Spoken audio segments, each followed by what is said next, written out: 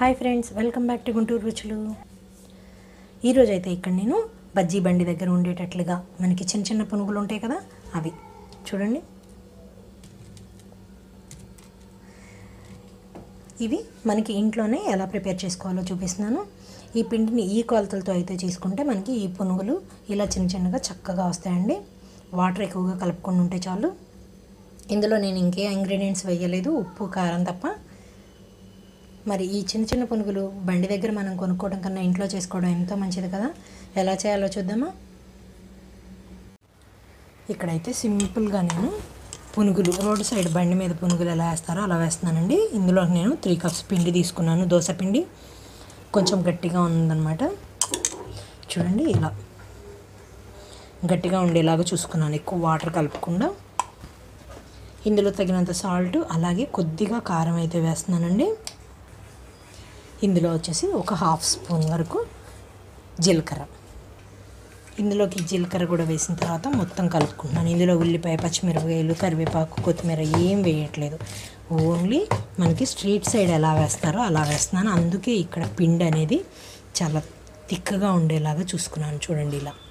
ఇక్కడ నేను ఈ దోశ బ్యాటర్ తయారు చేసుకోవడానికి ఒక గ్లాస్ మినపప్పుకి రెండు గ్లాసుల వరకు బియ్యం వేసుకున్నాను. అందులోనూ ఒక హాఫ్ గ్లాస్ వరకు పచ్చిశనగపప్పు వేసుకున్నాను. చూడండి ఇంత తిక్కుగా ఉండాలి చిన్న ఉండలుగా పడిపోయేలాగా. ఇప్పుడు స్టవ్ మీద ఆయిల్ పెట్టుకుంటున్నాను. ఇక్కడ చూడండి స్టవ్ ఆన్ చేసి పాన్ పెట్టుకున్నాను. ఇందులోకి డీప్ ఫ్రీగలంతా ఆయిల్ తీసుకున్నాను. కొంచెం ఆయిల్ హీట్ అవనిద్దాం ఇంకొద్దిగా. ఇక్కడైతే ఆయిల్ హీట్ అయిందండి. నేను కావాల్సిన సైజులో ఇక్కడ నేను ఈ పునుగులను ఇందులోకి వేసుకుంటున్నాను. బయట స్ట్రీట్ సైడ్లో మనం వీధి బండి దగ్గర తీసుకుంటాం కదా పునుగులు బండి దగ్గర చిన్న చిన్న పునుగులు అలాగే వేసుకుంటున్నాను ఇక్కడ. మనకి పిండి గట్టిగా ఉంటేనే పునుగులు ఇలా చిన్న చిన్నగా వేసుకోవడానికి వస్తుంది. ఇలా ఉంటే ఆయిల్ కూడా పీల్చకుండా ఉంటుందండి బాగా. ఇక్కడ వేసిన వెంటనే కదిలేకుండా ఒక రెండు నిమిషాల తర్వాత మొత్తం కదిలిస్తున్నాను చూడండి. చక్కగా పైకి వచ్చేసినాయి. చిన్న చిన్న పునుగులు తీసుకుంటే బజ్జీల బండి దగ్గర పునుగుల్లానే అనిపిస్తున్నాయా? కొంచెం మీడియం ఫ్లేమ్లో ఉంచి ఇవి లైట్ గోల్డెన్ కలర్లోకి వచ్చిన తర్వాత ప్లేట్లోకి తీసుకోవాలి.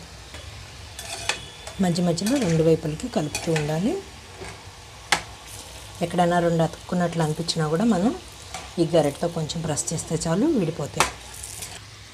చూడండి త్రీ ఫోర్ మినిట్స్కి ఇవన్నీ వేగిపోయినాయి కదా. వీటన్నిటిని ఒక ప్లేట్లోకి తీసుకుంటున్నాను.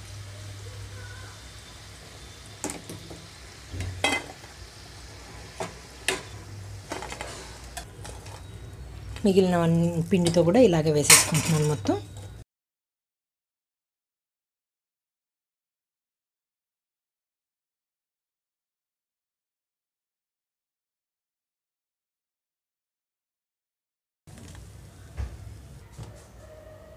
స్ట్రీట్ సైడ్ చిట్టి పునుగులు రెడీ అయిపోయినాయి.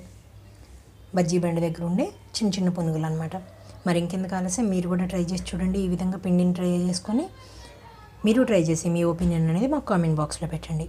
అంతేకాదు మీలో కానీ ఎవరైనా మా వీడియో ఫస్ట్ టైం కానీ చూస్తున్నట్లయితే మా ఛానల్ని సబ్స్క్రైబ్ చేయండి ప్లీజ్ మా వీడియోస్ లైక్ చేయండి షేర్ చేయండి. అలాగే పక్కనే ఉన్న బెల్ ఐకాన్ ఆల్ ఆప్షన్ని క్లిక్ చేస్తే మేము ఇచ్చే వీడియోలన్నీ మీకు నోటిఫికేషన్స్ వస్తూ ఉంటాయి. Thank you for watching thank you